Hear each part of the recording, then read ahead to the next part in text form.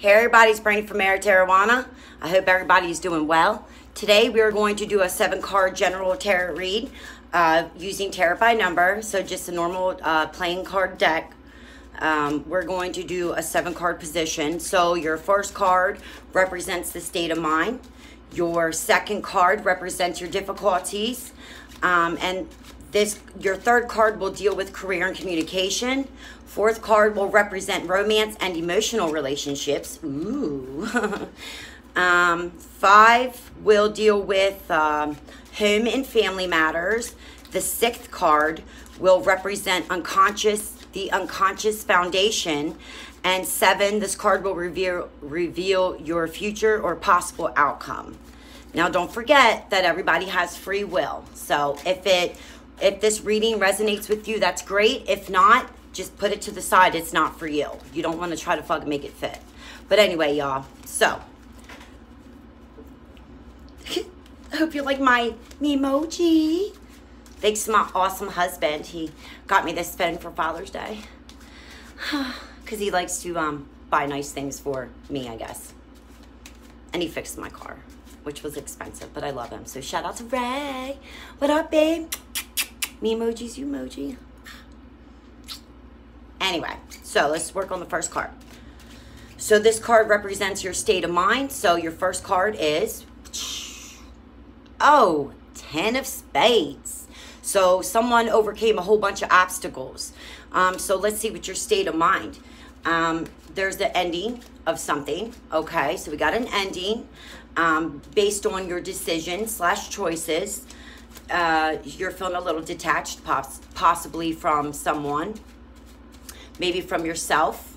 So let's see what card number two is. What are the difficulties?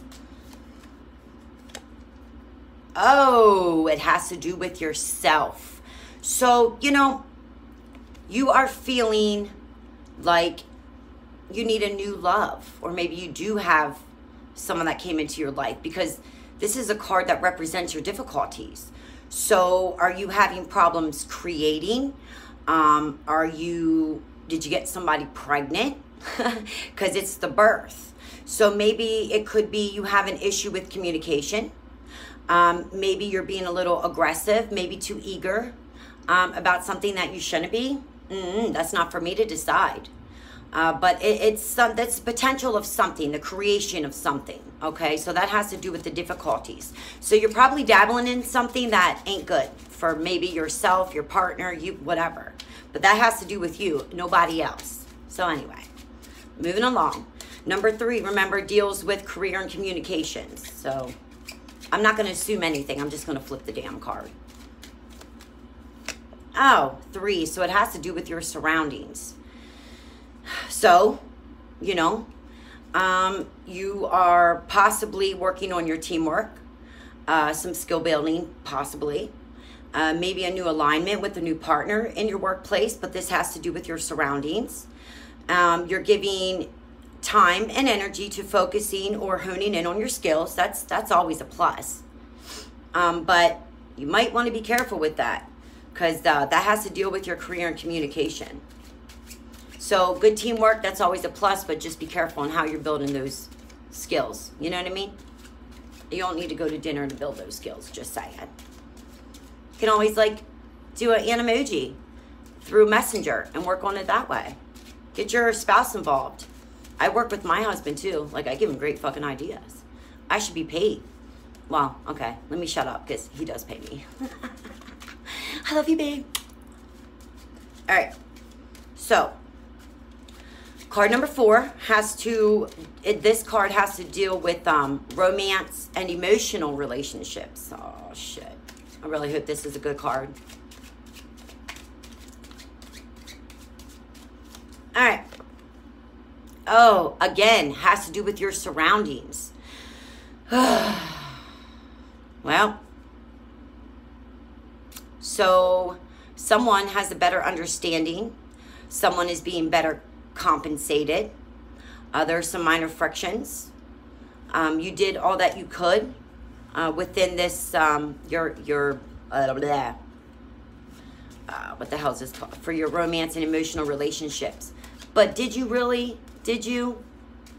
You know, are you feeling like you're better off without somebody? Are you you know, are you feeling like you did all that you could do, but maybe you really didn't? Maybe you're just feeling like that because you don't want to put in the extra time and effort because you're tired, you know, because you've been working a lot or something. You know, don't take that out on your partner or your home life. That's not cool because that's, um, you know, you're having minor frictions and setbacks, and that will affect your relationship. But um, it depends on what you do with with that knowledge that you've gained. You know. Let me just look a little bit more. All right. So let's check with your home and family matters, see what's going on there.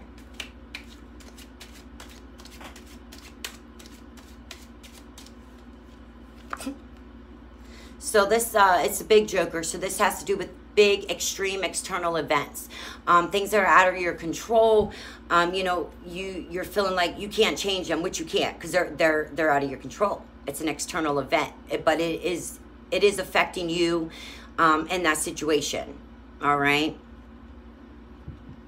um, that's dealing with the home and family matters. So it's chaos, uprooting. Maybe somebody has to move for this new position. Maybe someone has to travel a lot more. Not really sure.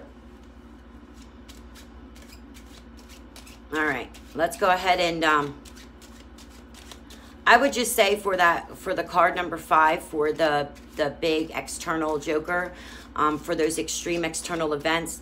I really, really think that you need to communicate. That is your best thing because you are only as good as your partner feels. You are only as good as your partner works and what they put out. Um, so I really think that, especially if you are coupled up with someone, you definitely need to um, be working on those communication skills because somebody could get lost in the sauce. Um, and unfortunately, that can end a relationship. You know, it don't matter if you've been together five years or 80 years. That can end relationships. So communication is key, people. Open, honest communication. All right. This is the sixth card. And again, this represents your unconscious foundation, which is, oh my God. Now it's a little joker. so, um, but this isn't bad. This is internal changes. So, whatever dynamic is going on, it's because you're changing inside. And I'm not talking like, you know, um, it's like you found yourself type thing. Um, you're you're feeling beautiful inside and outside and it's reflecting that. You changed for the better. Um, you know these are these are extreme internal changes within yourself. You know no one else can control them but you. So it, it's looking really good right there. So i wouldn't worry about the un- unconscious foundation part because it seems to be all right so you're evolving you're you're changing and it's for the better sometimes you know change takes time it doesn't happen overnight all right. So, seven, this card reveals your future possible outcomes. Well, we all know how this goes. Anybody can change your, your future, your reality, because you, you reap what you sow. You manifest. We're all manifestors. So we need to choose wisely with what we say and what we think, okay? So you need to continue to give your grand support, or grand support will be coming to you, all right, having to do with like um, emotional support, love, a listening ear, someone who is caring, someone who is wise, someone who is compassionate towards others. So you, you have that, you, you're giving, all right, grand support with positivity, love, positive affirmations, and things like that. So, but that's all I got for you guys. That was the clothesline of life spread from the um, Housewives Tarot.